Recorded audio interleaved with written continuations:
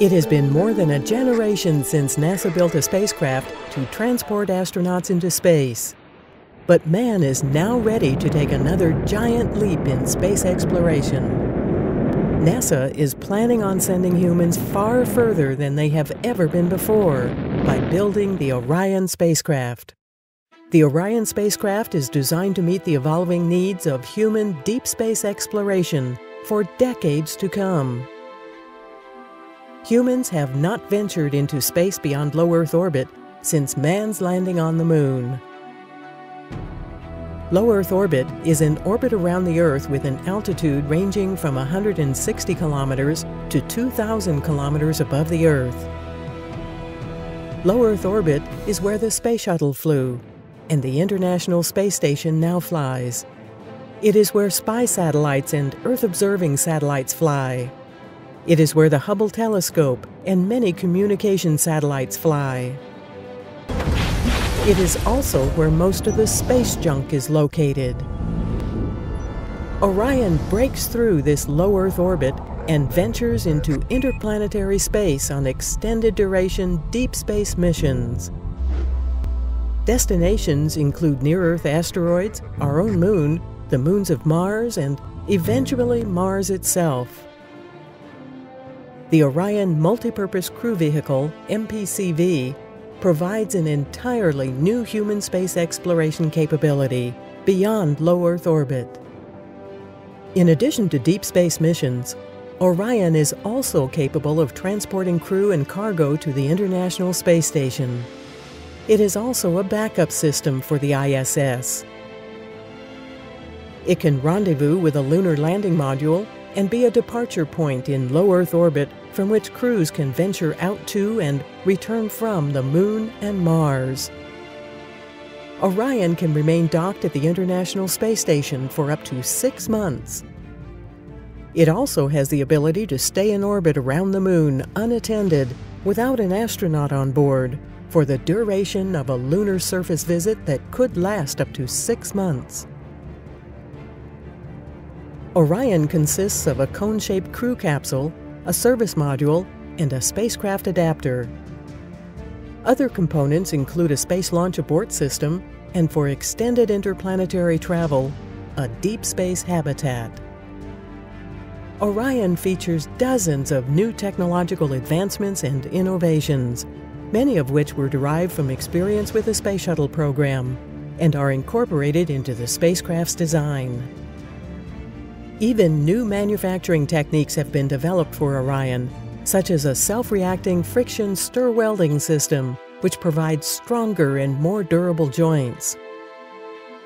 Some of the component parts are produced using 3D printing, including a baffle and rocket injector.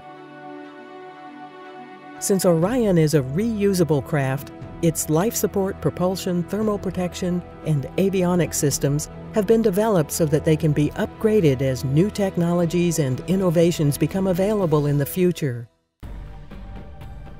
Orion's heat shield is an extremely critical part of the spacecraft.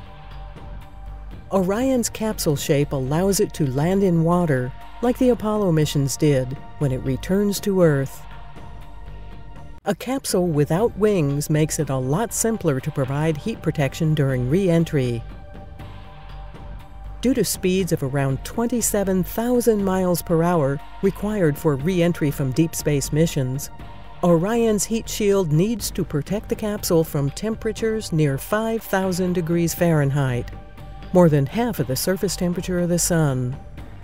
Temperatures capable of melting iron, steel, or chromium. The heat shield skeleton gives the spacecraft the strength to withstand the craft's impact with the water surface when it splashes down in the Pacific Ocean. Orion's heat shield, at 16 and a half feet in diameter, is the largest heat shield ever constructed. A heat-resistant material called AvCoat covers the heat shield. This is a glass-filled epoxy Novolac honeycomb system matrix applied to the heat shield skeleton. The honeycomb shape gives the heat shield strength and resistance to cracking. Avcoat is the only man-made ablative material that exists today that can handle the extreme temperatures of high-speed re-entry following a deep space mission. The heat shield is designed to be consumed as Orion re-enters Earth's atmosphere. The ablator heat shield material therefore burns off during re-entry, carrying heat away from the capsule structure and providing a layer of cooling between itself and the capsule. Since the space shuttle could never have left low Earth orbit with its wings and tail, its heat tiles worked fine for the heat levels that it encountered during its returns from low Earth orbit. But tiles like on the space shuttle would not be strong enough for Orion's heat shield, which encounters heat levels significantly hotter than the shuttle ever did. The non-heat shield surface of the capsule, however, called its back shell, is covered with AETB8 tiles, which are the latest generation of heat shield tiles. These tiles also protect the capsule from the debris environment or space junk that Orion could encounter while in low Earth orbit.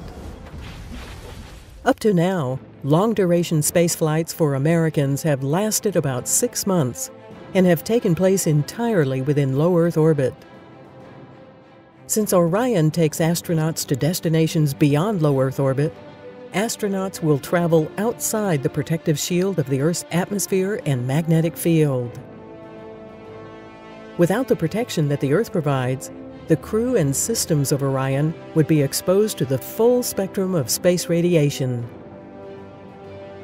As astronauts venture into interstellar space, they will also have to cross the Van Allen belt a tightly packed field of radiation around the Earth that protects the Earth from charged ions. NASA has had to develop methods of protection from significantly more radiation than astronauts have experienced in the past.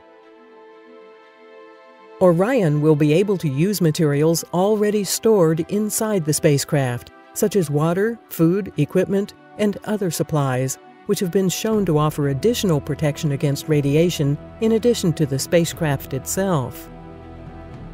Since these items are already stored near the heat shield, this provides a temporary shelter in the aft bay close to the heat shield. Several radiation sensors are located on board to record levels of radiation. Orion may look a lot like the Apollo capsule in shape, but the comparison stops there. Orion is larger than Apollo and has been referred to as Apollo on steroids. Whereas Apollo carried three astronauts, Orion can carry as many as six crew members to and from the International Space Station and is capable of landing four astronauts on the Moon. The crew capsule can withstand the vacuum of space and keeps out salty ocean water upon returning to Earth, protecting critical components. It provides a habitat for the crew, storage for consumables, and holds the majority of Orion's electronics. The crew module is the only reusable part of Orion that returns to Earth after each mission. This is the green interior pressure vessel that makes up the core of the crew capsule. The capsule's avionics are described as the brains of the spacecraft. Orion has advanced systems in electrical power, flight control, life support, and communications. Due to the extreme distances of long-duration missions, Orion's advanced navigation and tracking systems will enable Orion to maintain orientation and communication with the Earth. Its systems move data at a rate 1,000 times faster than systems on the shuttle and the ISS. The capsule contains what is called a glass cockpit. It is a digital control system evolved from several airplane cockpit designs, including Boeing 787 multifunction flat panel multicolor displays. It is outfitted with an auto dock feature, allowing the spacecraft to dock with the International Space Station automatically, yet has a provision for the flight crew to take over in an emergency. The Orion Service Module serves as the primary power and propulsion component of the spacecraft and is discarded at the end of each mission. It carries rocket engines for propulsion and large solar panels for generating electrical power. It is attached below the crew capsule and provides life sustaining water, oxygen, and nitrogen needed for a habitable environment and maintains the temperature of the vehicle's systems and components. Both the crew module and service module are constructed of the aluminum lithium alloy that was used on the Space Shuttle's external tank. 14 foot protective fairing panels cover the capsule and service module, protecting those components during launch, and are jettisoned after the spacecraft reaches 560,000 feet above the Earth. Orion's Ultraflex solar arrays support all of the electrical power needs for both Earth orbiting and deep space missions. Rechargeable lithium ion batteries store that power for use when the vehicle is away from sunlight. The solar arrays are 10 times as rigid as conventional rigid panel arrays, yet are micro thin. Each of the two circular solar arrays spans 19 feet in diameter and provides over 6,000 watts of power, enough to power six three bedroom homes. The spacecraft adapter connects the crew capsule and service module to the launch vehicle and protects service module components during launch and ascent into orbit. The Orion MSA diaphragm is a lightweight composite structure that protects astronauts in the crew capsule from hazardous gases produced by the upper stage launch engines. It sits between the propellant stage of the rocket and the crew capsule. The crew capsule and service module join with a deep space habitat for longer deep space missions, which can last up to 900 days. The crew quarters on the deep space habitat provide the crew with radiation and storm shelter protection during solar particle events. They provide, in addition to living quarters, storage areas, science stations, and a galley for food preparation, including a microwave and refrigerator for food heating and storage. Upon returning to Earth after deep space missions, the capsule will splash down in the Pacific Ocean. Once the heat shield has done its job of getting Orion through the atmosphere, parachutes will take over for the landing. A forward bay cover protects the crew during launch, flight, and re entry, but must be jettisoned to allow Orion's main parachutes to deploy. After returning from a deep space mission, the forward bay cover is jettisoned at an altitude of 23,000 feet. Drogue parachutes initially slow down the spacecraft, and then three smaller pilot parachutes are deployed. Next come the three main parachutes, they measure 116 feet across and weigh 300 pounds each, and together can cover a football field.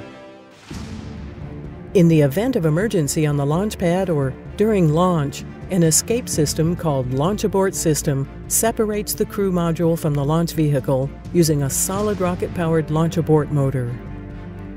This abort motor is more powerful than the Atlas booster that launched astronaut John Glenn into orbit in 1962. The launch abort system, positioned on a tower atop the crew module, activates within milliseconds to propel the crew module 500 feet in the first three seconds and to safety in the event of emergency during launch or climb to orbit. The launch abort system consists of three motors the main abort motor, the attitude control motor, and the jettison motor. Orion is launched into space by NASA's Space Launch System, an advanced heavy lift vehicle which provides an entirely new capability for science and human exploration beyond Earth's orbit and into interstellar space. The SLS is NASA's first exploration class vehicle since the Saturn V rocket took American astronauts to the moon over 40 years ago. The core, or center stage, stands over 200 feet tall with a diameter of 27 and a half feet. It carries cryogenic liquid hydrogen and liquid oxygen that feed the four RS-25 engines for the SLS. Two solid rocket boosters add to the configuration. Orion is the safest, most advanced spacecraft ever built. It is flexible and capable enough to take humans to a variety of destinations, including landing on an asteroid and into interstellar space. After the December 2014 test flight, an unmanned Orion may circle the moon by 2017, and the first manned mission by 2021. Landing on an asteroid could take place during the late 2020s, and a landing on Mars by the 2030s. If humans can't make it to near Earth objects, they can't make it to Mars. So landing on an asteroid would be the next step necessary toward a human landing on Mars. The Orion spacecraft is capable of carrying astronauts on diverse expeditions beyond Earth's orbit, ushering in a new era of human space exploration.